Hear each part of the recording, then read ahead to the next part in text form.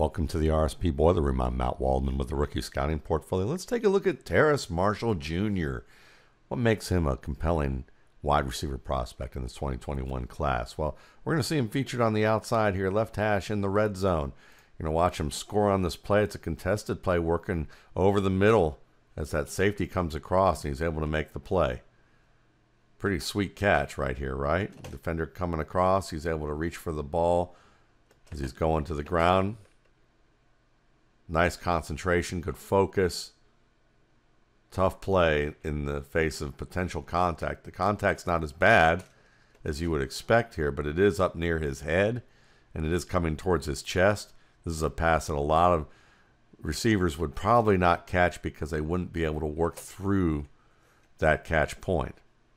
So that's a really nice aspect of the of the play right here is be able to extend his arms, have the hand strength to really continue through the reach through his arms and close to his head by that safety. Take the contact from behind, still come down with the ball. But let's also take a look at the route. And you're going to see here, this is a nice release that gets him to the inside.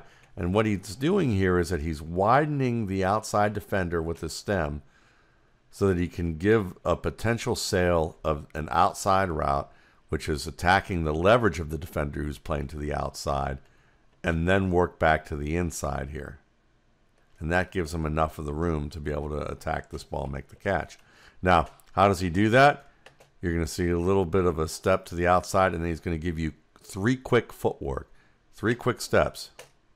And that's normal for an inside release. A three quick is a good move for an inside release. And what you're going to see is one, two, three and then he comes back to the inside there. Good job. I'm also a fan of how Marshall here in the slot on the right side at the right hash attacks the ball with his hands on this particular target because you can see the target is a little bit behind his break path and he has to come back for the ball. So he does a good job of extending his arms, getting his hands in the right position. He doesn't use underhand position. And the difference between underhand position and overhand position is he'd probably have his hands near his numbers and he'd be waiting another step to be able to get this ball because this is about a foot higher than where he would have caught it if he used underhand technique. And as you can see here, the defender has his arm up here at this point to swat down. If he uses his hands down below here, the defender either swats the ball away before it reaches him or as he catches the ball here, the defender is able to make contact and then swat and be a much more dangerous play for Marshall to be able to make the catch. But in this case, Marshall's already secured the ball before the defender makes contact. He's got his back to the defender. Defender swats down but completely misses because Marshall's able to secure the ball away from the reach of the defender and work across. So you're looking at a you know the effect of being able to make a technically sound catch bleeds over to securing the ball before the defender can make the play. You also like here with this route, he kind of widens to this outside with the off coverage defender here, widens outside and then breaks back inside. And I think he flattens out this route a little bit more before he's so that he can get behind that defender. But again, this part right here, the ability to kind of work back to the ball attack it at its highest point, arms away from his chest. A lot of receivers would try to bucket catch this ball, you know, kind of over the shoulder, lean, just kind of tilt the shoulder back a little bit. Not Marshall. Great job securing the ball. But when Marshall has to make a play on a ball where he can't use picture perfect technique, he has the focus and concentration to do so. And I and this is a great example of that because he's facing physical coverage at the top of his route here. He gets even with the defender. The defender now wants to kind of pin him to the boundary. And Marshall's fast enough to get past because the defender's looking back for the ball. A lot of that is because Marshall is looking back to the ball early. See how he looks over that inside shoulder and immediately turns right here? He's trying to bait the defender to look back. And that's exactly what the defender does right here. That slows him down. Marshall continues to accelerate, and then he uses his hands well. It's not really a push off. What you I call it is framing separation, extending his arms to prevent the defender from getting further inside the bubble of his frame. And he's able to use that hand to just can keep it extended so the defender can't run through it because he's already has that space. He didn't push off to get that space. All he did is he put his hands on the defender as he continued to accelerate and kept that arm extended as he was separating. And that's something that a lot of people mistake for push offs. It's just a frame of, of his separation, framing the space around him and maintaining it as the defender tries to run and impede into it. And as that defender is able to, you know, clamp down right there, good job of being able to turn with that shoulder to, to shield off a little bit and use one hand to track that ball in. Maybe not picture perfect technique, but it fits well for this given situation. Gets both feet in bounds, drags his body. Good job.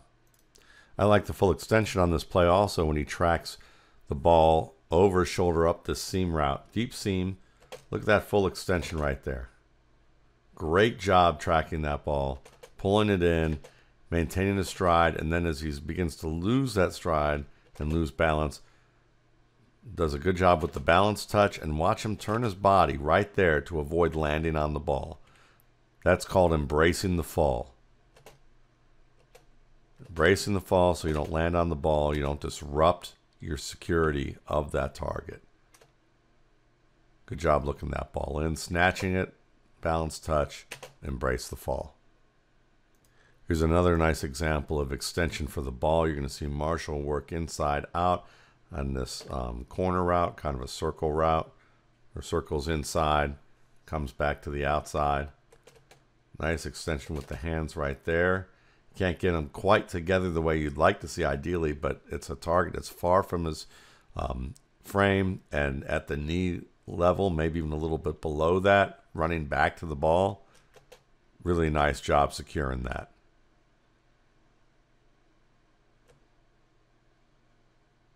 And you can see him just kind of follow the arc of the ball with his hands.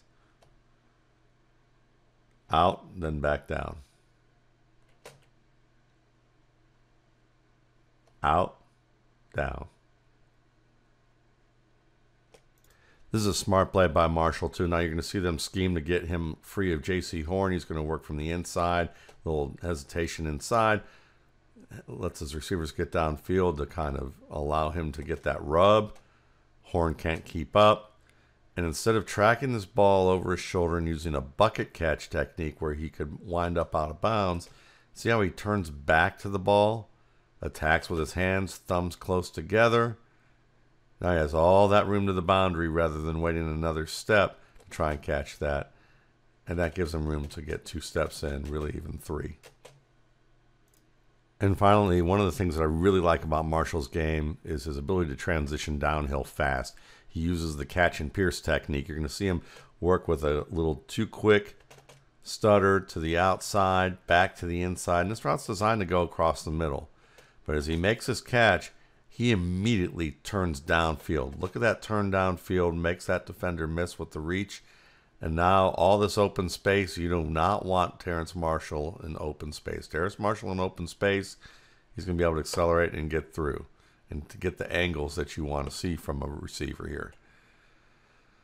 So overall, I mean, again, nice little route setup, nice little too quick stutter as he widens the stem. Looks back to the quarterback, good catch with his hands, immediately turns upfield. And that's the thing. A lot of receivers think that they got to square up, make a move. They slow everything down.